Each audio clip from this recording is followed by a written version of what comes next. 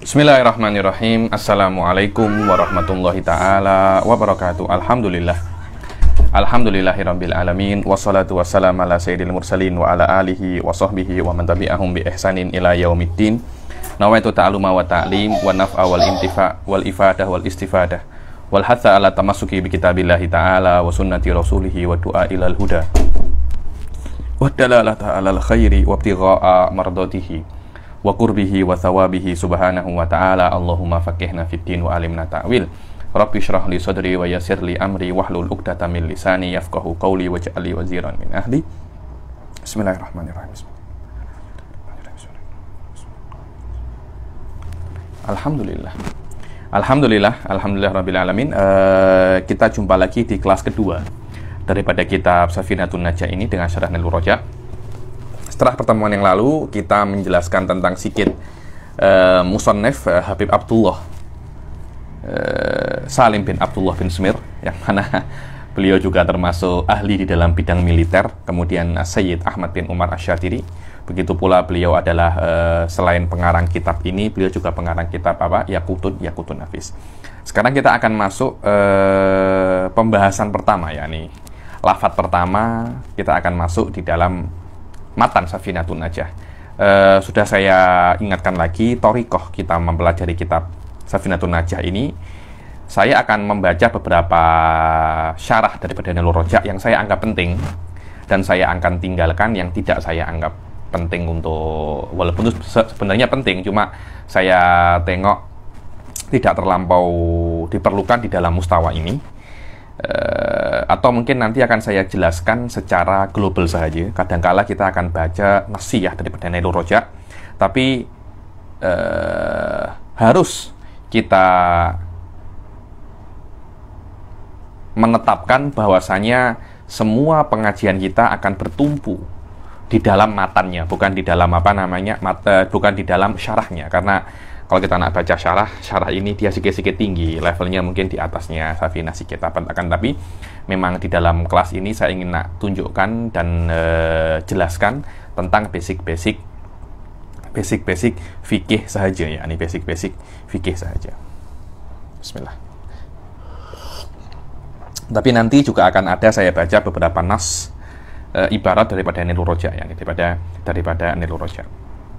Bismillahirrahmanirrahim dan pasti ya nih ketika kita sudah mulai Bismillahirrahmanirrahim pasti ada semacam ritual ritual para masyayikh fukoha daripada tarim ya. Ini saya jujur ya, ini saya mengajar kita fikih dari awal lagi semacam ini. E, menurut saya ini macam deja vu, nostalgia ya, ini macam zaman-zaman dahulu ketika saya memulai belajar fikih, ketika saya mulai muka di Mahadromiyah, sampai saya sudah hatam minhaj, minhajut tolibin. Ada semacam rasa terharu. Yakni akhirnya sampai juga di mana masa di saya itu sudah mengajar. Mengajar bukan hanya belajar lagi dulu saya hanya belajar. Sekarang saya sudah uh, ada satu tugas lain selain belajar yaitu apa? Yaitu yaitu mengajar. Di setiap awal-awal kitab para masyayikh tarim ya ini para masyayikh tarim pasti beliau pasti mereka-mereka itu beliau-beliau ini menjelaskan tentang makna Bismillahirrahmanirrahim daripada kata per kata. Ya ini ketika kita tengok bi Ba itu immalil musahabah atau lil isti'anah. Makna isti'anah adalah meminta tolong. Makna musahabah adalah maknanya bersama-sama. Bersama-sama dengan apa? Meminta tolong dengan apa? Isim. Kalau secara global kita nak maknakan Bismillahirrahmanirrahim dengan menyebut nama Allah yang Maha Pengasih dan Maha Penyayang. Cuma kalau kita nak jelaskan perkata ya nih, macam mana ya nih? Ba itu maknanya isti'anah. Makna isti'anah adalah meminta tolong. Makna musuh atau dengan makna musahabah. Makna musahabah itu maknanya bersama-sama. Yakni musahabah sahib maknanya yang selalu bersama-sama. Maknanya kita itu kalau nak buat apa-apa hendaklah bersama-sama dengan bismillahirrahmanirrahim. Maknanya nak mula apa pun pakailah dan bawalah bismillahirrahmanirrahim. Maknanya selalu ucap bismillahirrahmanirrahim. Oke SM maknanya apa Habib?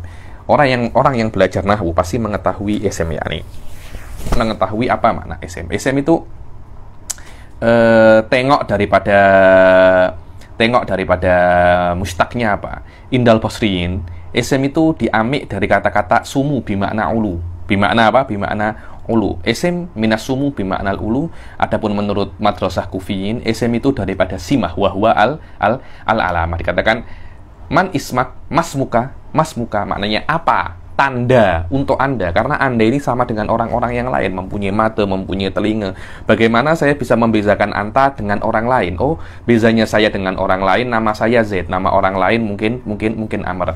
Jadi ketika seseorang itu ditanya siapa namanya, secara tidak langsung mereka itu ditanya apa yang bisa saya panggil untuk membedakan Anda, untuk menandakan Anda dan orang lain. Itu dari kata-kata kufiin mudah sebenarnya untuk daripada istiqoknya kufiin ini uh, eh, ini mudah. Adapun menurut Basriyin, SM itu dari kata-kata sumu sama yang maknanya atas. Ketika ketika Anda itu di atas, maka Anda akan terbeza dari orang-orang yang lain. Ketika Anda tengok di pernikahan, ada suami istri yang di pelaminan, dia akan diletak di tempat yang di atas dan orang-orang lain ada di bawah. Kenapa? Agar mereka itu, agar semua orang itu tahu bahwasanya ini adalah suami istri ketika nanti berbuat mungkin uh, sendirian di kamar, tidak dituduh mereka itu berzina. Kenapa? Karena orang-orang orang-orang orang-orang sudah tahu bahwasanya dua orang ini sudah apa namanya? sudah sudah sudah menikah. Itulah makna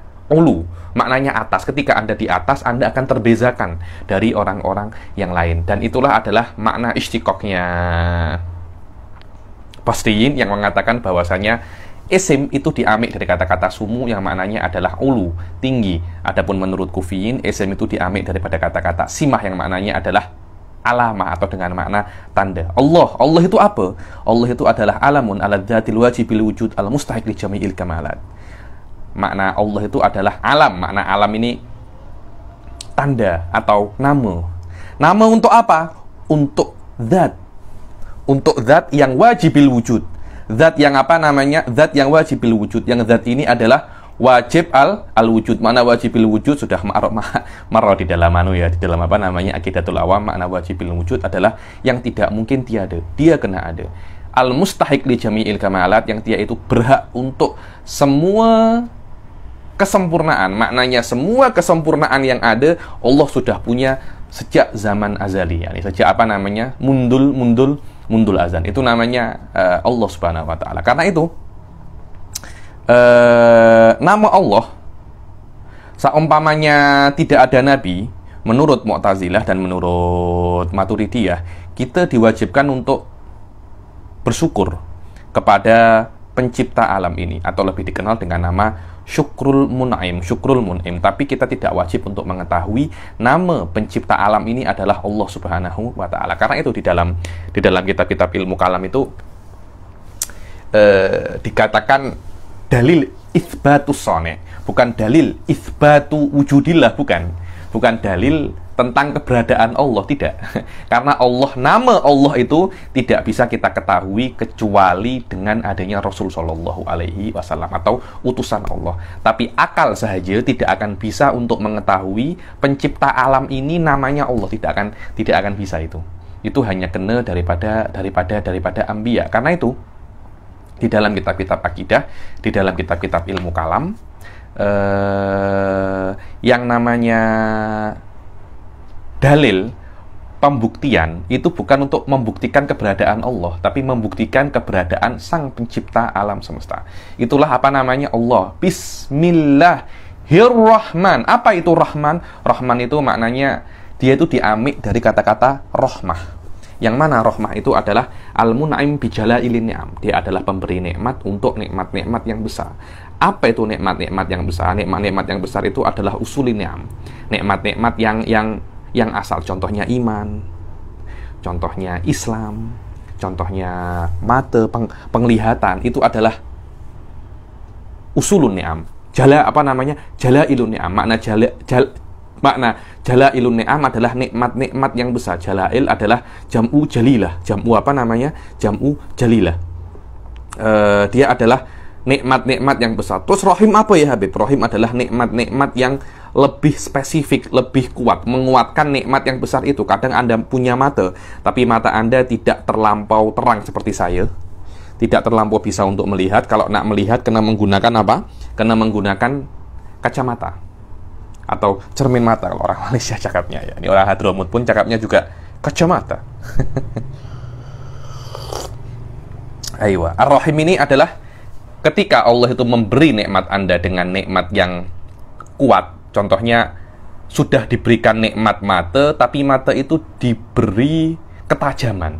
Anda bisa melihat sampai jarak tiga hari perjalanan, seperti hadami, atau Anda mempunyai pendengaran-pendengaran itu sangat sensitif sekali, seperti kelelawar mungkin, seperti kelelawar. Ini adalah Ar-Rahim. Karena itu Ar-Rahman lebih ablag daripada Ar-Rahim karena hurufnya Ar-Rahman lebih banyak daripada hurufnya apa namanya Ar-Rahim. Dibilang ziyadatul mabna tadullu ala ziyadatil makna. Inilah secara global apa itu makna Bismillahirrahman apa namanya? Bismillahirrahmanirrahim. Kenapa?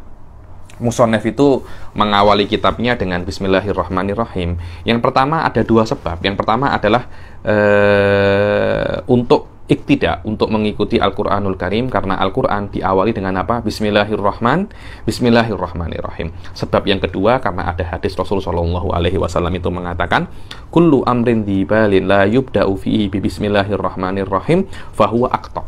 Di dalam riwayat fahuwa abtar dalam riwayat lagi fahuwa ajdam ini adalah riwayat walaupun riwayatnya itu tidak sahih akan tetapi bisa untuk dipakai sebagai fadhailul amal. Apa maknanya Habib setiap perkara yang dianggap penting oleh syariah, yang dianggap penting, yang dianggap mempunyai mempunyai kekuatan, dianggap mempunyai kepentingan di dalam syariat. Contohnya apa? Menuntut ilmu, mengarang kitab. Apakah mengarang kitab itu penting di dalam syariat? Sangat penting sekali. Mengaji, apakah mengaji itu penting dalam syariat? Penting. Belajar, apakah penting? Penting.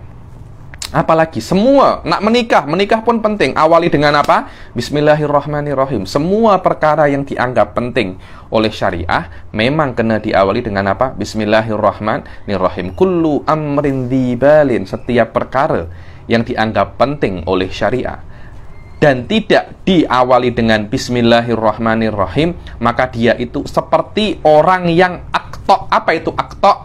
Yang terpotong tangan dan kakinya kalau ada orang yang terpotong tangan dan kakinya, maknanya orang ini oke okay, you tidak sempurna, kurang sempurna, kurang upaya.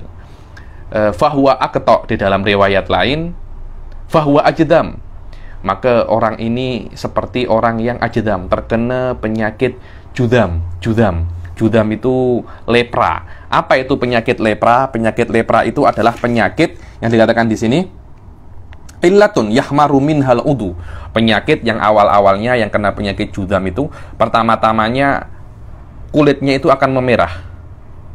Kemudian menghitam, kemudian pecah-pecah, kemudian kulitnya dan bagian tubuhnya itu ia tanasar. Makna ia tanasar itu eh, jatuh tanggal satu persatu. Mungkin pertama merah, tangannya merah, jari-jarinya merah. Kemudian menghitam, kemudian pecah-pecah jari-jarinya itu apa kulit kulitnya pecah-pecah kemudian jarinya ini uh, terlepas satu persatu. Dan ini apa namanya yang sangat berbahaya sekali. Ya nih Rasulullah Wasallam itu bersabda firro eh, firru minal majdumi firaraka minal asad dibilang larilah kalian itu daripada orang yang terkena lepra seperti kalian itu lari daripada singa. Setelah diteliti setelah diteliti virus lepra itu bentuknya macam singa tau. Bentuknya apa namanya? Bentuknya macam singa. Subhanallah itu adalah ijazun nabawi ya nih ijazun nabawi. Maknanya ini adalah kalau anda memulai sebuah pekerjaan yang dianggap penting oleh syariah, tapi Anda tidak mengatakan bismillahirrahmanirrahim, maka itu seperti orang yang terkena yang yang terkena lepra. Maknanya apa? Kolil, Kolilul barokah. Apa makna kolilul barokah? Maknanya walaupun Anda hatam kitab, tapi keberkahannya, kemanfaatnya akan akan akan akan sedikit. Maknanya Anda tidak akan bisa untuk membuat kitab ini bermanfaat untuk banyak orang. Itu namanya apa namanya? Kitab banyak, tapi yang tapi yang manfaat hanya sedikit. Anda tengok kitab fikih banyak sangat banyak. Kitab fikih sangat banyak sekali. Tapi yang dibaca, yang dibuat tadris berapa? Satu, dua, tiga aja. Sikit sangat, sikit sangat. Kenapa? Karena berkahnya berbeza satu dengan berbeza satu dengan yang lain. Riwayat riwayat yang lain mengatakan bahwa abtar. Apa itu abtar? Abtar itu adalah maktu udzanab. Maktu udzanab itu eh, yang ekornya terputus atau tidak mempunyai keturunan. Orang yang tidak mempunyai keturunan itu kurang. Itu apa namanya? Itu itu itu bukan orang yang sempurna. Maknanya dia kena dia akan terlalu, dia akan terus rindu terhadap keturunan. Maknanya orang yang membuat perkara-perkara yang penting pada agama dan dia itu tidak memulai dengan bismillah, maka akan ada kekurangan di dalam perkara itu. Berkahnya tidak akan sempurna. Itulah makna hadis kullu amrin di balin la yubda'u fi bismillahirrahmanirrahim wa huwa aqta au au abtar au au au ajdam. Kemudian uh, Musonnef di sini mengatakan hukum membaca bismillah. Hukum membaca bismillah itu ada berapa? Dibilang ini penting ya dulu ketika exam itu pasti hal-hal semacam ini mesti apa namanya keluar. Apa sebutkan hukum membaca bismillah? Hukum membaca bismillah itu ada lima. Maknanya hukum taklifi ada lima, hukum membaca bismillah pun juga ada lima. Bila-bila hukum membaca bismillah itu wajib. Alamak, hukum membaca bismillah wajib kah? Iya, ada. Bila hukum membaca bismillah itu wajib, hukum membaca bismillah itu wajib ketika Anda di sholat. Loh kenapa Habib? Loh iya, karena di sholat ada Al-Fatihah, dan Al-Fatihah tidak bisa. Dan Al-Fatihah kan rukun daripada sholat kan. Ketika rukun daripada sholat itu Al-Fatihah, dan di antara rukun daripada, di antara ayat daripada Al-Fatihah itu adalah Bismillah, maknanya Anda tidak akan bisa untuk membaca Al-Fatihah kecuali Anda membaca Bismillahirrahmanirrahim. Karena itu, Bismillahirrahmanirrahim hukumnya wajib di dalam apa namanya? Wajib di dalam sholat. Oke, bila Habib Al-Fatihah itu menjadi haram, Al-Fatihah itu haram kalau Anda nak buat perkara haram. Contohnya apa? Anda nak minum khomer. Minum khomer kan haram kan? Haram. Nak minum khomer, Bismillahirrahmanirrahim. Hmm, sedap. Nah, minum khomernya dosa, baca bismillahnya juga apa namanya? Juga dosa kenapa? Karena macam anda itu meminta tolong Allah nak berbuat perkara yang haram loh. Per perkara yang haram itu dibenci oleh Allah. Macam mana? Ya ini ada semacam tidak menghormati Allah di dalam perkara-perkara yang haram. Sudah semacam itu anda macam nak gunakan bahwasanya ini itu diridhoi oleh oleh Allah. Akhirnya membaca bismillahnya itu haram. Minum homernya juga juga haram. Jayid. Yang ketiga apa? An-nadab sunnah. Bila Bismillah itu sunnah, dibilang Bismillah itu sunnah ketika di perkara-perkara yang penting di dalam agama. Setiap perkara yang dianggap penting dalam agama, seperti nak membaca Quran, membaca hadis, membaca kitab, dulu ketika saya membaca Fathul Mu'in di, di Rubat itu ada orang sebelum membaca Fathul Mu'im dia cakap bismillah. Tapi audzubillah. Audzubillah minasyaitonirrajim bismillahirrahmanirrahim banyak orang-orang yang komplain eh kenapa engkau baca ta'awud? Ini bukan Quran tau. Ini adalah kitab fikih. Alamak semua gaduh macam mana ini? Macam mana Akhirnya coba cari apakah memang membaca A'udzubillah minasyaitonirrajim ketika membaca kitab itu mandub. Akhirnya subhanallah ketika saya dulu saya punya kawan namanya Amron. Apa namanya? Bukan bukan bukan Amron, Muammar, maaf, Muammar. Muammar dia orang asli Son'a tapi belajar di di Amerika. Kemudian balik lagi ke Son'a untuk kemudian ke Tarim untuk belajar di Rubat Tarim. Saya sering murojaah uh, Bughyatul Mustarsyidin sampai hatam dengan beliau dengan taklikotnya para ulama ya dengan taklikotnya Habib Hasan Asyatiri dengan taklikotnya Habib Ahmad bin Umar Asyatiri Syekh Salim Said Bukair cetakan Darul apa itu namanya Darul Darul Nur.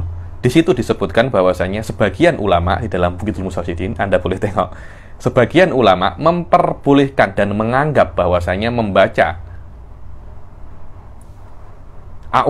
minasyaitonirrajim disunnahkan kiasan ala membaca ala membaca a'udzubillah sebelum membaca Al-Qur'an. Jadi selain kitab Al-Qur'an dikiaskan kepada Al-Qur'an dengan jami apa? Apa ilahnya? Semuanya perkara-perkara yang dianggap penting oleh syariat. Saya bilang ini kena kita apa namanya? Ini kita kita uh, headline kita tunjukkan kepada guru bahwasanya memang membaca auzubillahi minasyaitonirrajim sebelum membaca kitab selain Al-Qur'an juga disunahkan oleh para ulama. Kiasan ala membaca Al-Qur'an kalau Al-Qur'an tidak ada tidak ada yang boleh komplain karena Allah sendiri mengatakan idza qara'tal Qur'ana fasta'idz billah fastahid fastahid billah tidak tidak ada yang boleh komplain tapi di kitab macam mana? Dikiaskan. Alal kitab bijami'i bahwasanya Al-Quran dan kitab itu amrun yuhtammu bihi syara'an wallahu alam. Yang keempat kadangkala membaca bismillah itu makruh. Macam mana itu Habib? Bila membaca bismillah itu makruh kalau Anda berbuat perkara yang makruh. Macam mana itu berbuat perkara yang makruh? Contoh perkara yang makruh adalah mencabut uban mencabut mencabut uban. Ketika Anda mencabut uban, bismillah. Bismillah. Bismillah. Mencabut ubannya makruh, membaca bismillahnya juga apa namanya? makruh. Atau contohnya Anda memakan perkara-perkara hal-hal apa? memakan benda-benda yang membuat mulut itu baunya tajam. Mungkin kalau apa namanya eh, ulama-ulama uh, dahulu itu cakapnya apa? Sum, sum, sum, sum. Sum itu uh, bawang putih itu. Wet wet onion itu. Garlic garlic garlic garlic garlic. Uh, makan garlic itu para ulama itu mengatakan itu adalah makruh. Kenapa? Karena buat uh, bau itu kurang sedap. Wallahu alam. Mungkin kalau ada orang cakap ada orang cakap wallah Habib maknanya itu makan durian pun makruh Habib. Alamak kenapa? Durian sedap. Iya Habib tapi buat bau tajam.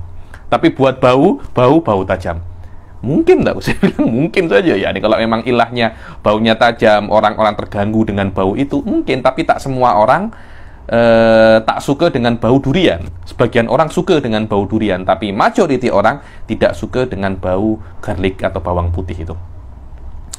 Eh, jadi orang nak makan bawang putih, Bismillah makan bawang putih. Hukumnya apa? Mak makruh. Yang kelima adalah al ibahah. Al apa namanya? Al ibahah kadangkala membaca bismillah itu hukumnya mubah maknanya melakukannya tidak mendapat pahala dan meninggalkannya tidak mendapat dosa. Contohnya apa?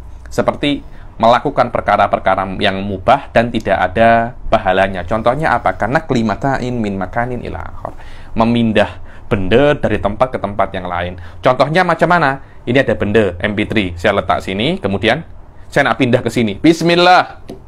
Bismillah Bismillah, ini namanya naklul mata. Naklul matanya itu memindah benda itu tidak ada tidak ada pahalanya. Ketika saya mengatakan bismillah ketika saya me,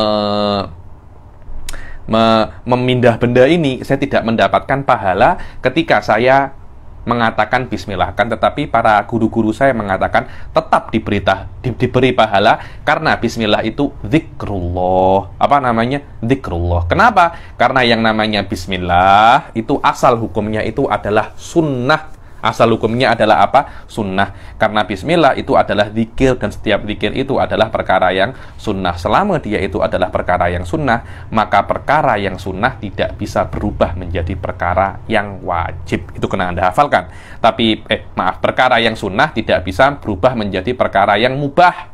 Bukan yang wajib bisa yang wajib yang sunnah berubah menjadi wajib dengan dengan dengan nadar tapi perkara yang sunnah tidak bisa berubah menjadi perkara yang mubah akan tetapi perkara yang mubah bisa berubah menjadi perkara yang sunnah dengan niat. Wallahu alam bisawab. Lima ini adalah uh, hukum membaca Bismillah. Kemudian uh, Bismillahirrahmanirrahim. Lafadz yang kedua apa? Alhamdulillahirobbil alamin. Ini kena jadikan satu persatu. Saya bilang menjelaskan satu persatu ketika membaca kitab fikih awal-awal ini menurut saya semacam ritual yang tidak boleh saya tinggalkan karena para masyayikhuna ya nih para masyayikhuna Citarim ketika membaca kitab apa pun di dalam awal-awal pasti nak menjelaskan terutama di dalam kitab-kitab yang basic ya pasti akan menjelaskan makna perkata daripada mukadimah yang diletakkan oleh musonef. Alhamdulillah. Apa itu alhamdu? Alhamdu adalah asana bil lisan alal jamil al ikhtiyari secara bahasa yang namanya alhamad adalah asana, pujian. Pujian dengan apa? Pujian dengan lidah. Dengan lidah bilisan alal jamil. Anda memuji sesuatu yang indah. Yang mana sesuatu yang indah itu bukan sesuatu yang indah yang bukan di dalam keinginan Anda, tapi sesuatu yang indah ikhtiari. Contohnya apa? Anda bersedekah. Bersedekah adalah sesuatu yang indah. Dan sesuatu yang indah itu, sedekah itu, berasal daripada keinginan Anda. Ada sesuatu yang indah, tapi tidak dalam keinginan Anda. Apa itu? Anda mempunyai wajah yang handsome. Anda mempunyai wajah yang handsome, itu bukan karena Anda ingin lahir dengan wajah yang handsome. Oh, saya adalah anak seorang tuk guru. Anda menjadi anak tuk guru, itu bukan keinginan Anda. Itu adalah pembahagian Allah. Selama itu bukan keinginan Anda, maka kalau Anda ada orang memuji Anda dengan perkara yang bukan ikhtiari, atau itirori maknanya maknanya adalah itirori itu bukan hamad tapi namanya adalah madah contohnya macam mana? Masya Allah anteni handsome sangat. Itu bukan alhamad tapi itu adalah madah adalah apa? Madah madah adalah pujian untuk perkara yang indah perkara yang baik tapi perkara yang baik itu ada pada anda bukan karena keinginan anda. Itu namanya apa madah. Tapi kalau hamad kena ada di dalam, kena di dalam karena perkara yang baik itu Anda buat karena keinginan Anda. Jayid. Ini adalah se hamad secara bahasa. Secara uruf apa? Fe'lun. Suf. Kata-kata fe'lun akan menjadi lebih luas lagi. Karena Anda kalau nak bersyukur, kalau kalau Anda nak nak nak memuji Allah, Anda nak memuji Allah tidak harus Anda itu menggunakan lisan tapi perbuatan pun juga dikatakan Anda itu memuji Allah. Karena itu secara uruf, secara syariat, yang namanya hamad adalah fi'lun, perbuatan. Tidak harus dengan lidah. Perbuatan yang mana perbuatan itu menunjukkan terhadap Anda itu mengagungkan mun'im, mengagungkan Sang Maha pemberi nikmat, dari perspektif dia itu pemberi nikmat, Sawaun nikmatnya itu bagi Anda atau bagi orang lain. Macam mana Habib? Iya, ketika ada kawan saya namanya Zaman diberi nikmat. Saya cakap, Alhamdulillah. Maknanya saya ini hamid. Saya ini memuji Allah. Kenapa? Karena saya memuji Allah karena Allah memberi nikmat kepada zaman karena dia diberi anak. Padahal nikmatnya bukan ke saya, tapi kepada kepada zaman. Dikatakan saya ini apa? Hamid. Dikatakan saya ini hamid. Itulah alhamdulillah, alhamdulillah. Adapun selain hamdu namanya asyukur. Apa itu syukur? Syukur adalah sorful abdi jami aman an amallah ila ma khuliqali ajlih. Syukur adalah seorang hamba itu menggunakan semua nikmat Allah untuk apa dia diciptakan. Itu namanya apa? Syukur. Dan ini susah. Jadi Allah menciptakan tangan untuk apa? Tangan untuk bersedekah. Allah menciptakan mata untuk apa? Mata untuk melihat hal-hal yang baik. Contohnya nak melihat ulama, nak melihat kitab, nak melihat wajah-wajah orang-orang soleh. Allah menciptakan mulut ini untuk apa? menciptakan mulut ini untuk berzikir, untuk berkasidah, untuk berceramah. Bukan mata digunakan untuk tengok auratnya orang. Bukan mulut digunakan untuk menggibah, bukan mulut digunakan untuk mencaci. Itu bukan untuk apa mulut diciptakan, bukan untuk apa mata diciptakan. Karena itu syukur adalah Anda menggunakan semua nikmat Allah untuk apa dia diciptakan. Ini susah karena itu kan Allah Subhanahu wa taala mengatakan wa qalilum min ibadiyas syakur. Sikit hamba-hambaku itu yang bersyukur. Maknanya sikit dari hamba-hambaku itu yang benar-benar menggunakan apa yang sudah aku ciptakan untuk tugasnya masing-masing. Sikit itu. Sikit, sangat sikit sekali. Rata-rata kita itu gunakan gunakan fasiliti Allah untuk melawan Allah. Kita gunakan fasiliti Allah untuk bermaksiat kepada Allah Subhanahu wa taala. Alhamdulillah. Rabb Allah sudah maknanya sudah lampau. Apa itu Rabb? Rob itu ada yang mengatakan maknanya itu Malik. Robbul Ebil ay Malikul Malikul Malikul Ebil. Uh, Syekh Said Foda di dalam kitabnya uh, Syarah Sugro Sugro, taklik ala syarah Sugro Sugro. Beliau mengatakan bahwasanya yang namanya Rob itu diamik dari kata-kata Robba ya putar dia, maknanya mendidik. Bukan hanya pemilik, akan tetapi apa? Pendidik. Maknanya Robbul Alamin Robnya alam semesta. Yang mana alam semesta itu adalah Enes manusia, jin dan manusia, jin dan malaikat. Kenapa? Karena tiga makhluk ini yang mempunyai jiwa, tiga makhluk ini yang mempunyai akal. Jayid jidan. Apa kena mengena Rob dengan makna mendidik dengan tiga orang ini, dengan dengan dengan tiga makhluk ini beza. Ada dia dia mempunyai hubungan. Apa hubungannya ya Habib? Hubungannya bahwasanya Allah itu karena Allah itu memiliki, Allah itu nak mendidik tiga makhluk ini untuk menjadi untuk mencapai kesempurnaan mereka. Kita tengok aja manusia. Manusia itu diciptakan oleh Allah dalam keadaan tidak tahu apa-apa ketika baby tak tahu apa-apa. Allah mengatakan kepada manusia dan Allah menurunkan kepada manusia syariatnya. Yang mana dalam syariat ini kalau manusia itu lakukan syariat itu manusia akan menjadi orang yang sempurna sikit demi sikit. Karena itu yang namanya tarbiyah adalah bagaimana seseorang murabi itu amik murabbanya amik yang dididiknya sikit demi sikit menuju kesempurnaan untuk khas dia berniat untuk membawa yang dididik itu mencapai kesempurnaan tanpa amik keuntungan sedikit pun untuk dirinya. Itu namanya apa? Itu namanya murabbi. Itu namanya rob dan hal seperti ini hanya ada pada Allah Subhanahu wa taala yang mana Allah akan mendidik manusia dengan cara menurunkan syariatnya melewati Rasul Shallallahu Alaihi Wasallam yang mana kalau anda mengikuti syariatnya dan anda mengikuti Rasul sikit demi sikit anda akan menuju kesempurnaan anda. Dan itu semua untuk keuntungan anda. Allah tidak ambil sikit pun keuntungan daripada kesempurnaan anda. Berbeza dengan negara-negara yang kuat pada zaman ini ya nih oh saya nak didik negara yang lemah ini. Untuk apa? Mereka nak ambil untung daripada negara lemah ini bukan nak jadikan negara lemah ini hebat, tak. Nak ambil untung daripada negara-negara yang nak ambil untung daripada negara-negara yang lemah. Oh, saya nak didik, saya nak pandekan orang yang lemah ini. Banyak sekali guru itu mereka itu dianggap hebat kalau mereka bisa untuk mendidik murid yang lemah menjadi hebat. Coba tengok. Ketika mereka mendidik murid yang lemah menjadi hebat, otomatis mereka itu akan ambil keuntungan dengan makna bahwasanya mereka akan mempunyai reputasi yang bagus karena mereka berhasil untuk membawa murid ini daripada kelemahan menjadi kuat. Maknanya ketika dia mendidik murid lemah itu bukan pure untuk dia, tapi ada unsur walaupun sikit tak dominan kepada guru itu yang akan dinisbatkan kepada dia ketika orang ini sempurna tapi Allah Subhanahu wa taala tidak ada seperti itu. Allah tidak bertambah sempurna dengan sempurnanya manusia dan Allah tidak bertambah kurang dengan lemahnya manusia. Karena itu Rabb al-Hakiki, Rabbul Arbab, Rabb yang hakiki adalah seorang Tuhan, adalah Tuhan bukan seorang ya, adalah zat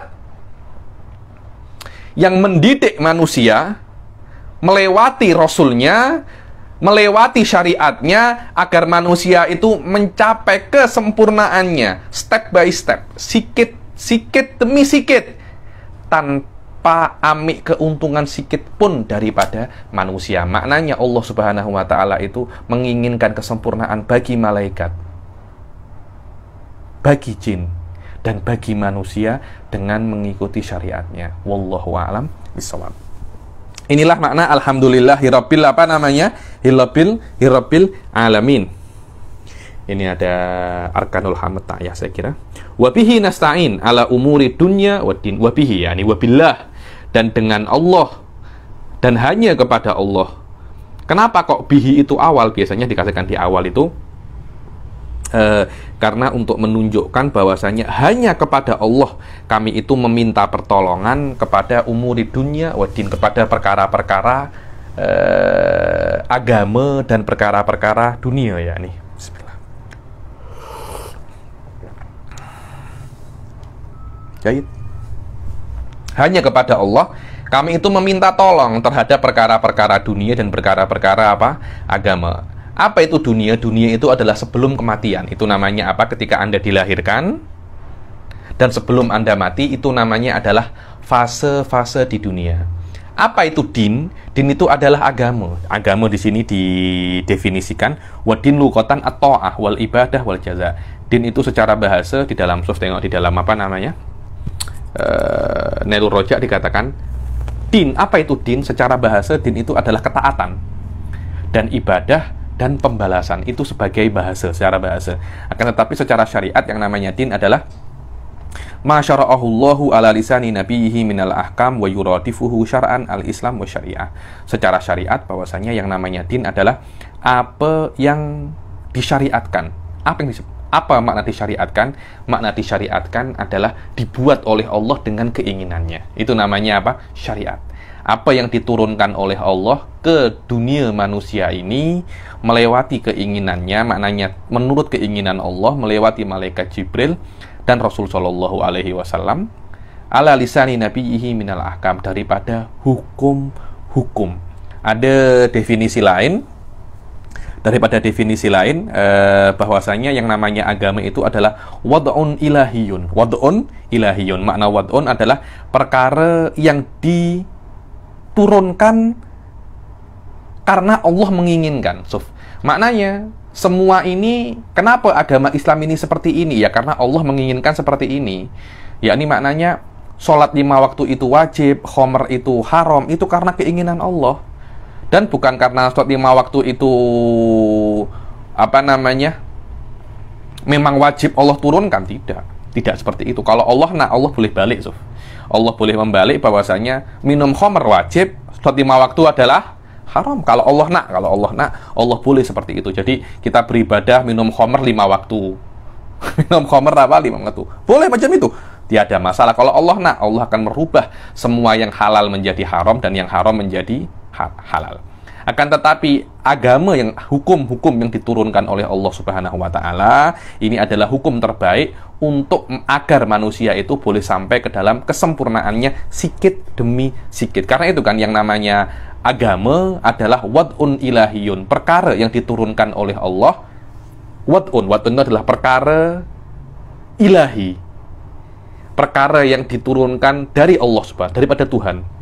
Saikon yang mana perkara itu kalau Anda tengok, kalau Anda pikirkan dan Anda lakukan itu akan saikon. Saikon itu akan memandu Anda Memandu ke mana? Memandu ke kebaikan dunia wa ukhra. Siapa yang bisa dipandu kepada kebaikan dunia dan akhirat ketika dia itu melakukan agama? Orang-orang yang mempunyai akal-akal yang sehat. Ada beberapa orang yang mempunyai akal yang sakit, tengok agama mereka tak nak, mereka mereka tak nak, tak nak amik. Kenapa? Agama ini penat Habib Kenapa? Saya kena sholat, saya kena puasa. Loh memang penat, tapi Anda tidak beragama, lebih penat lagi. Anda tidak beragama, Anda lebih Anda lebih penat lagi. Karena itu, eh, hukum-hukum, uh, hukum-hukum yang diturunkan oleh Allah Subhanahu wa taala itu adalah pure untuk kemaslahatan manusia. Allah tidak ambil keuntungan sama sekali daripada hukum yang diturunkan oleh Allah kepada kepada kepada manusia ini. Nyaman kalau saya itu ketika di daurah uh, aluma mungkin dua bulan yang lalu kalau tak silap. Karena saya mulai aluma ini November saya mulai November saya jelaskan pasal apa sih hakikat daripada hukum yang intinya hukum itu adalah sebuah sistem yang diturunkan oleh Allah kepada manusia ini untuk mengekang keinginan manusia. Karena kalau keinginan manusia itu dibiarkan begitu saja, dunia ini akan dunia ini akan hancur. Dunia ini akan akan hancur. Kalau oke okay lah engkau nak buat apa aja, engkau nak buat apa aja terserah. Habis dunia ini. Karena itu oleh Allah ada hukum-hukum untuk mengekang. Ini haram, ini haram, ini haram, ini haram, ini boleh, ini boleh. Jadi keinginan Anda itu harus terkekang dengan yang diperbolehkan oleh Allah saja. Yang haram-haram ini jangan apa namanya, jangan Anda lakukan. Begitu pula keinginan Anda juga dikekang untuk melakukan perkara-perkara yang wajib. Yang mana perkara-perkara yang wajib itu adalah perkara yang susah. Sholat itu susah. Puasa itu susah. Zakat itu susah. Tapi Anda kena lakukan. Kenapa? Itu untuk mengekang keinginan Anda agar Anda tidak berbuat semau Anda. Begitu pula perkara yang mubah, perkara yang haram, semua ahkam taklifiyah humsah e, itu diturunkan oleh Allah untuk mengekang dan membatasi keinginan manusia. Karena tidak ada satu negara pun yang menganut keinginan mutlak tidak ada. Walaupun Amerika yang mengatakan dirinya itu negara paling bebas dunia tidak ada yang mengatakan keinginan mutlak ada, tidak ada seperti itu. Kenapa? Karena setiap kayak kita di dunia ini akan berbenturan dan bercanggah dengan keinginan orang lain. E, itulah hakikat filsafat daripada apa? Daripada daripada hukum ya. Nih kalau anda ingin tengok, saya jelaskan pasal hukum ini sedikit-sedikit, sedikit-sedikit lama dan saya jelaskan e, apa sih hubungan hukum di dalam tiga ilmu. Karena pasal hukum ini dibahas juga di dalam tiga fan ilmu, ilmu kalam, ilmu usul fikih, dan ilmu apa namanya? Ilmu ilmu fikih. Semua tiga ini membahas membahas hukum.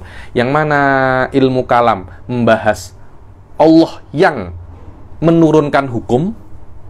Karena hukum itu kan adalah khitabullah. Kemudian usul fikih membahas tentang macam-macam hukum. Kemudian fikih membahas tentang aplikasi macam-macam hukum itu terhadap perbuatan-perbuatan mukalaf. Kemudian fatwa se hukum secara apa namanya uh, afal-afal mukalaf ini diaplikasikan lagi lebih spesifik kepada juz'iyat daripada mukallafin. Saya jelaskan ini secara detail di dalam daurah khulasah kalau Anda nak nah tengok ya nih.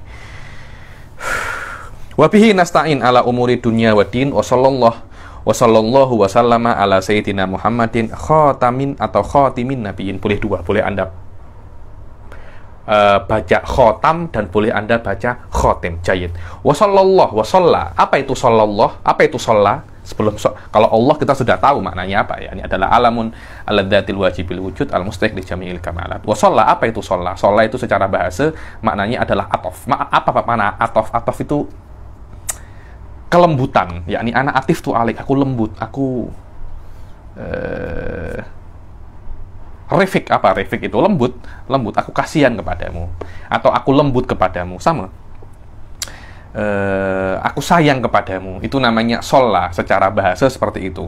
Akan tetapi sholla itu ketika dinisbatkan kepada Allah Subhanahu wa taala di dalam bahasa, makna sholla itu bukan lembut. Kenapa? Karena lembut, suka, sayang itu adalah perkara hati. Itu adalah perkara perkara perkara hati dan itu di dalam di dalam ilmu kalam itu masuk di dalam kefiat dan masuk di dalam bukan kefiat infialat makna infialat itu apa maknanya rasa sayang itu akan terjadi karena hal hal yang lain.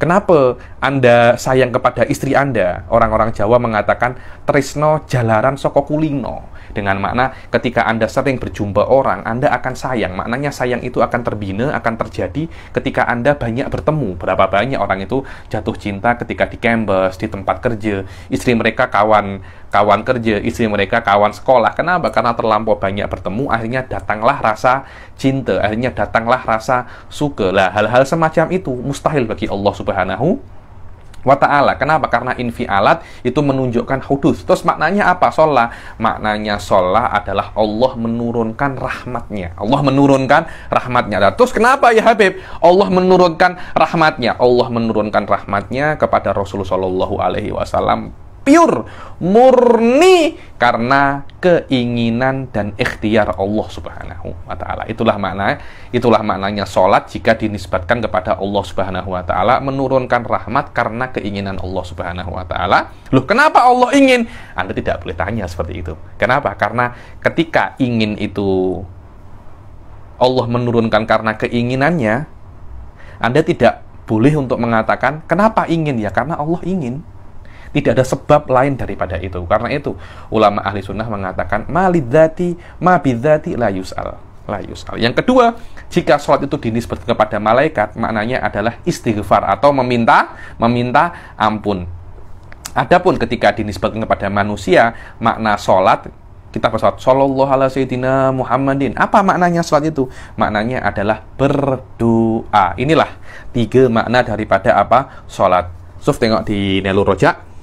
Oh, as-salatu wahyal atfu thumma in kanat minallah farahmatun aw minal malaikati fastighfarun aw minal adamiyini aw, aw minal adamiyina fatadarruun wa du'a. Wa sallallahu wasallam. Apa itu salam? Salam adalah tahiyah.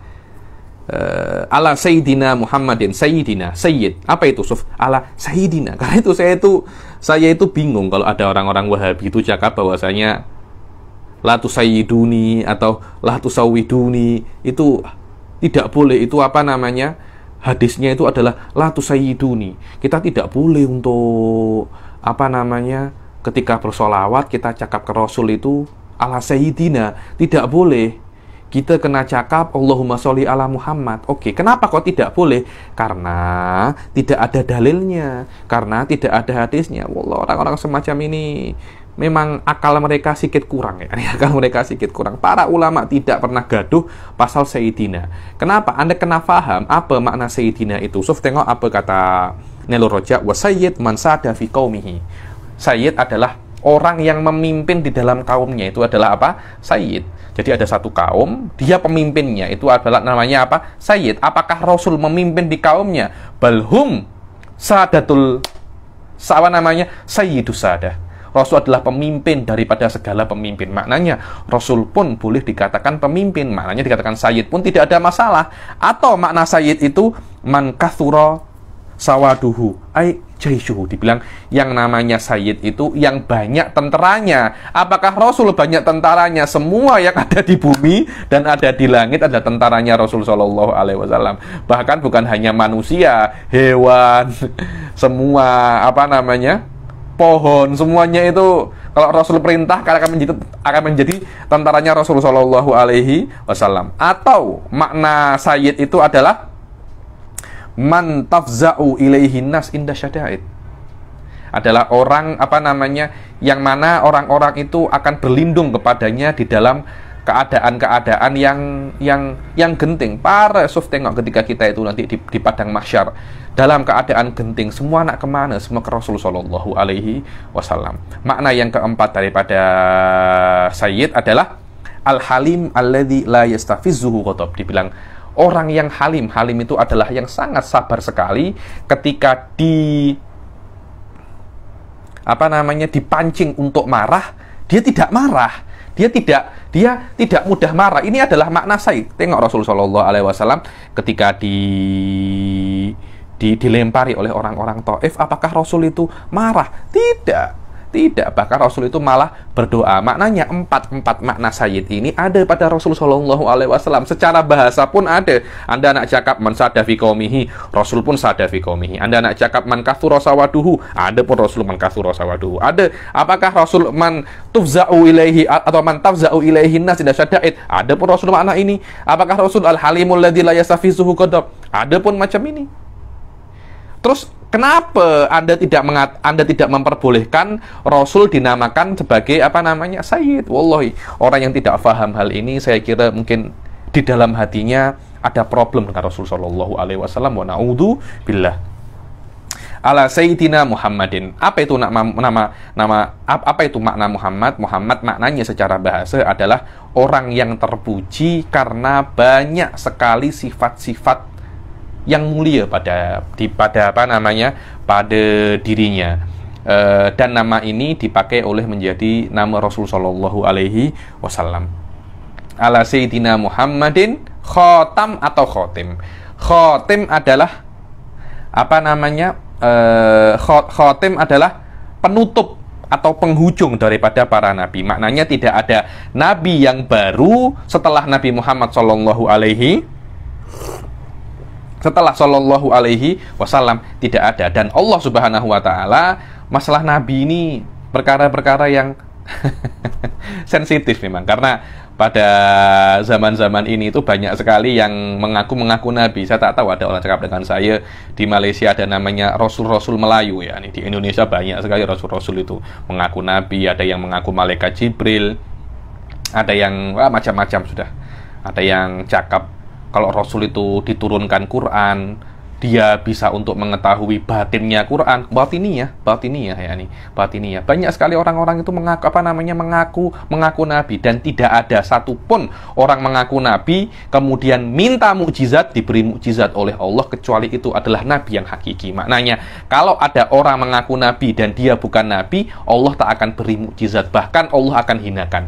Itulah maknanya di dalam akidah ahli sunnah bahwasanya mukjizat itu dalilnya adalah ada, dalilnya adalah adi, maknanya tidak ada satu orang pun mengaku nabi atau mendustakan dirinya itu apa mengaku dirinya itu nabi padahal bukan nabi dan meminta mukjizat kecuali Allah langsung dustakan dia di depan halayak ramai nih.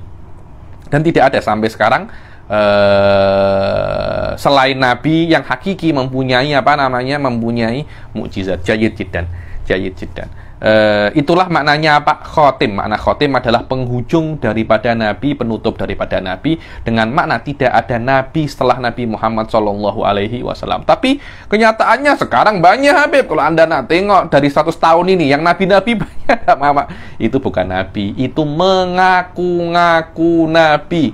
Kalau ada orang-orang mengaku Nabi, anda nasihati. Pertama anda nasihati, weh tidak ada nabi setelah Nabi Muhammad Shallallahu Alaihi Wasallam. Tetap tegil, mudah aja. Saya minta mukjizat. Saya minta mukjizat. Kalau anda bisa buat mukjizat, saya ikuti anda. Dan mustahil ada mukjizat. Mustahil ada, mustahil ada mukjizat. Jahit. Uh, ada lagi yang yang mengatakan apa namanya uh, harokatnya bukan khotim akan tetapi apa khotam makna khotam itu adalah alatul khotam cop cop apa makna cop itu maknanya khotamun nabiyin ini memang memang ada khotmun nubuwah. Apa itu khotmun nubuwah? Maknanya tidak ada satu nabi pun kecuali melewati Rasul Shallallahu Alaihi Wasallam. Maknanya ada satu nabi Rasul cop. Maknanya ini lulus. Kalau di Malaysia mungkin macam sirim mungkin ya. Mungkin macam apa? Macam macam macam sirim. Jadi ketika ada nabi Nabi Adam datang dicop dulu Rasul Shallallahu Alaihi Wasallam ini jadi nabi resmi jadi nabi. Jadi nabi itu namanya apa? Khotmun nubuwah. Kenapa seperti itu? Memang karena setiap nabi tidak akan diutus oleh Allah Subhanahu wa taala kecuali diberi perjanjian oleh Allah engkau kena cakap bahwasanya nanti akan datang nabi namanya Muhammad sallallahu alaihi sallallahu alaihi wasallam. Dan ketika orang itu datang, engkau tidak boleh ikuti aku. Engkau kena ikuti Rasul Shallallahu Alaihi Wasallam. Itulah yang namanya khotmun nubuah. Dan pasal khotmun nubuah ini eh, hadisnya ada, hadisnya ada. Tapi banyak sekarang orang-orang itu macam eh, meluaskan makna ini bukan kepada nabi tapi kepada wali dan itu wallahu alam mungkin perlu di, perlu diteliti lagi ya ini perlu diteliti lagi mereka mengatakan bahwasanya ada beberapa wali ini khotmul wilayah. Apa itu khotmul wilayah? Khotim khotimul aulia wal apa namanya? Khotimul aulia dengan makna bahwasanya tidak ada wali satupun yang bisa menjadi wali kecuali melewati apa namanya? Melewati dia. Macam disirim dahulu dengan dia. Ini wali kena lewat dulu saya sirim. Oh nanti sah menjadi wali. Nah jadi wali saya sirim dulu. Anda sah menjadi menjadi menjadi wali. Ini Wallahu alam setahu saya tidak ada dalilnya. Tidak ada tidak ada dalilnya. Apakah itu mungkin Habib? Mungkin. Saya tidak cakap pasal mungkin, tapi apakah ini terjadi? Dan ini tidak mungkin terjadi dan Anda tidak mungkin tahu kecuali melewati sama. Berbeza dengan khotaman nabiyin, ada dalilnya. Wa khotamun nabiyin. Ada seperti itu. Tapi khotmul wilayah tidak ada dalilnya. Walaupun diklaim oleh banyak sekali orang, oh fulan ini khotimul aulia, fulan adalah khotimul aulia. Saya kira itu perlu dalil lagi dan perlu direview balik karena kalau memang seperti itu e, memang kena ada dalilnya. Karena Anda nak me membuat sesuatu makna dan menisbatkannya ke dalam ke dalam syariah apalagi mafhumnya diambil daripada mafhum seperti khotmun nubuwah. Itulah makna khotam. Makna apa? Kho, khotam. Jadi ada khotim dan dan dan khotam. Terus an nabiyin. Apa itu nabi? Didefinisikan nabi itu oleh uh, Habib Ahmad bin Umar Asyatiri An-Nabi huwa insanun hurrun dakarun salimun an munaffirin taba'an wa an ati abin wa khona ummin uhiya ilaihi bi syar'in wa lam yu'mar bi tablighihi. Yang namanya nabi adalah insan. Nabi itu kena apa? Nabi itu kena manusia. Nabi tidak boleh jin. Nabi tidak boleh malaikat. Hurun Nabi itu kena e, merdeka, Nabi tidak boleh hamba sahaya. Zakarun, Nabi itu kena laki-laki, Nabi tidak boleh perempuan. Hadza ala mu'tamad maturidiyah. Maknanya, setiap Nabi pasti kena laki-laki. Tapi Asyairah mengatakan, bukan nabinya ya, akan tetapi nubuah. Tidak ada kontradiksi, tidak ada tanakut antara nubuah wal unusah tidak ada. Tapi setiap nabi pasti laki-laki. Beza so jadi mafhumun nubuwah la tunakidu mafhumal unusa. Kan tetapi kullu nabiyyin fahuwa dzakar. Salimun an munafirin top'an yang mana nabi itu tidak mem, tidak mungkin mempunyai penyakit yang membuat orang-orang itu lari.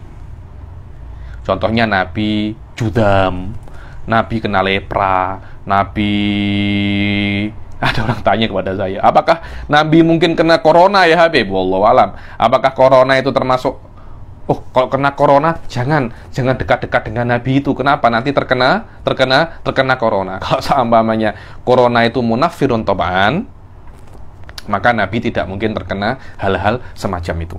Uh, Wa'an dana ati abin dan tidak mungkin Nabi itu danaah. Danaah itu dan dana atu abin itu ayahnya itu hina. Tidak tidak tidak mungkin yang namanya nabi ayahnya itu pasti mulia. Terus macam mana Habib? E, nabi Ibrahim itu. Nabi Ibrahim itu ayahnya kilang, punya kilang berhala.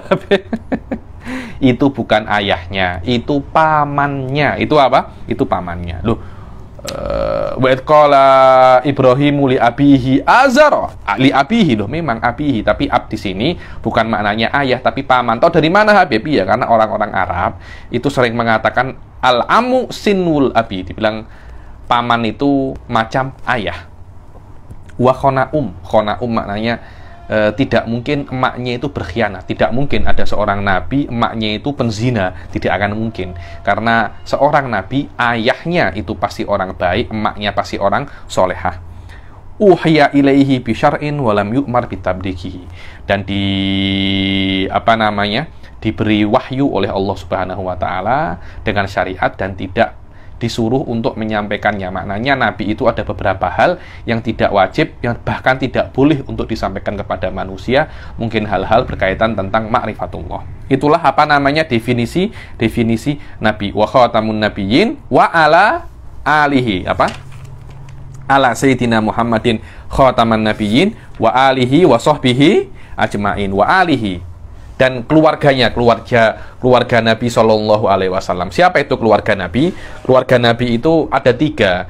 Keluarga Nabi ada yang daripada makomul makomul zakah, makomul madah dan makomul doa ada tiga. Kalau ada Rasul Shallallahu Alaihi Wasallam cakap keluarganya di dalam zakat, menurut Syafi'i, menurut Imam Syafi'i ada dua, Banu Hashim wa Bani Muthalib keturunan Bani Hashim dan keturunan Bani Muthalib. Bismillah. Itu adalah keluarganya Nabi daripada zakat. Imam Malik mengatakan keluarga Nabi yang tidak yang tidak boleh untuk menerima zakat adalah Banu Hashim saja. Imam Syafi'i mengatakan Banu Hashim dan Banu Muthalib. Oke. Uh, yang nomor dua, saudara apa namanya keluarga Nabi itu kalau di dalam pujian siapa? Kalau Nabi memuji keluarganya itu siapa? Keluarga Nabi adalah setiap dalam makom pujian adalah setiap orang muslim yang taat. Itu adalah keluarga Rasulullah SAW. Di dalam doa, kalau Rasulullah itu mendoakan keluarganya, mendoakan keluarganya itu adalah setiap orang muslim walaupun orang muslim itu bermaksiat. So, jadi ada tiga makom. Uh, fi makomit fi makomi zakah maknanya siapa keluarga Nabi yang haram menerima zakah di dalam makomul madah, dalam makom pujian, dan di dalam makom dua. Ada yang lebih khusus daripada tiga ini, namanya ahlul bait atau ahlul kisah ahlul kisah ini beza lagi. Ahlul kisah ini adalah Sayyidina Ali bin Abi Thalib, Sayyidah Fatimah Zahra, wa Sayyidina Hasan wal Husain. Kenapa? Karena empat orang ini pernah masuk di dalam kisah, di dalam kain dan didoakan oleh Rasul Shallallahu Alaihi Wasallam. Dan keturunannya juga sampai sekarang dikatakan apa namanya uh, Alu Baitin Nabi Shallallahu Alaihi Alu Baitin Nabi Shallallahu Alaihi Wasallam dan adapun kitab-kitab yang mengatakan bahwasanya Alu Baitin Nabi itu adalah istri-istrinya Rasul saja itu rata-rata yang cakap macam itu adalah Wahabi. Tapi ulama ahli sunnah wal jamaah adalah alu baitin Nabi Shallallahu Alaihi Wasallam. Ini ada tiga, ada tiga makom ini dan yang lebih khusus lagi alu baitin Nabi adalah uh, ahlul kisah dan para keturunannya. Wallahu alam. Uh, wa alihi wa dan para sahabatnya Rasul Shallallahu Alaihi Wasallam. Siapa para sahabatnya Rasul? Para sahabatnya Rasul adalah orang-orang yang berjumpa dengan Nabi. Dalam keadaan Nabi masih hidup, Nabi tengok dia atau dia tengok Nabi sekejap saja dalam keadaan muslim dan meninggal juga dalam keadaan muslim. Itu namanya apa? Sahabat. Kalau dia tengok Rasul dalam keadaan tidak muslim, kemudian Rasul meninggal, kemudian dia masuk Islam, dia tidak dikatakan sahabat. Atau dia tengok Rasul dalam keadaan muslim, kemudian menjadi sahabat, kemudian eh, dia murtad, meninggal dalam keadaan ridah, maka dia juga tidak dikatakan apa namanya so so sahabat. Dan itu adalah uh, sahabat Rasul Shallallahu Alaihi Wasallam. Eh, humul ladina ijtama'u bi sallallahu alaihi wasallam mu'minin nabihi fil ard fil ard di di bumi bukan bukan bukan di langit. Karena Nabi Isa jumpa dengan Rasul Shallallahu alaihi wasallam. Nabi Isa adalah nabi bukan bukan bukan sahabat sebagian ulama. Kenapa? Apakah ada tanakut antara sahabat dan nubuah? Maknanya kita boleh cakap Nabi Isa itu nabiyon wa sahabat. Tiada tiada tiada masalah. Fi hayatihi dan nubuah. Di dalam Eh, kehidupan Rasul setelah Rasulullah diangkat menjadi nabi. Bukan ketika dia tengok macam Warokoh ibn Naufal tengok Rasul tapi sebelum Rasulullah diangkat menjadi nabi. Wala haula wala quwata illa billahil aliyul alim. Uh, Adapun sahabat-sahabat Nabi ini sudah saya jelaskan di apa itu namanya di kitab Mustalah Hadis. Anda boleh merujuk lagi ada di mana? Di sini kalau tak anda tak jumpa di sini anda boleh tengok di Jinan TV saya ada lengkap satu sampai akhir. Kita masalah hadis saya jelaskan uh, sahabat secara sedikit detail di sana ya ini wala haula wala quwata illa billahil aliyil adim dan tiada kekuatan dan tiada daya kecuali dengan meminta pertolongan Allah yang maha tinggi dan maha besar. Wala haula wala quwata illa billahil aliyil adim faslun arkanul islami khamsah dengan ini selesailah sudah mukadimah daripada kitab Safinatun Najah ini. Uh, saya kira cukup sampai sini dan ini sangat penting sekali mukadimah-mukadimah ini. Uh, saya pun ketika baca ini saya teringat dulu masa-masa saya awal-awal belajar fikih lagi. saya senang sekali ya nih mengajar fikih ini karena banyak orang itu belajar dengan saya ilmu kalam, ilmu mantik padahal saya itu masih baru-baru aja mungkin baru uh, dari mulai tahun 2013 saya belajar ilmu-ilmu ini dengan Syekh Said Foda wa Tolabatihi. Tapi sebelum itu ya, nih saya mungkin lebih daripada 10 tahun saya belajar belajar fikih. Saya lebih pandai fikih daripada apa namanya? daripada ilmu kalam dan mantik. Cuma banyak orang mengaji dengan saya ilmu kalam dan mantik. Ketika saya mengajar fikih lagi, saya macam nostalgia dengan maklumat-maklumat dengan ilmu-ilmu saya yang sudah saya pelajari dengan para masyayikh fitarim dan semoga Allah Subhanahu wa taala menjaga mereka daripada corona dan menjaga kita dan semoga diangkat corona ini daripada Malaysia, Indonesia khususan wa jami'in biladil muslimina ama wa ala hadhihi niyyah wa ala kulli niyatin salihah wa ala ma wa aslafuna salihun wa ala Nabi Muhammad sallallahu alaihi wasallam al-Fatihah. A'udzu billahi minasyaitonir rajim. Bismillahirrahmanirrahim. Ihdinas siratal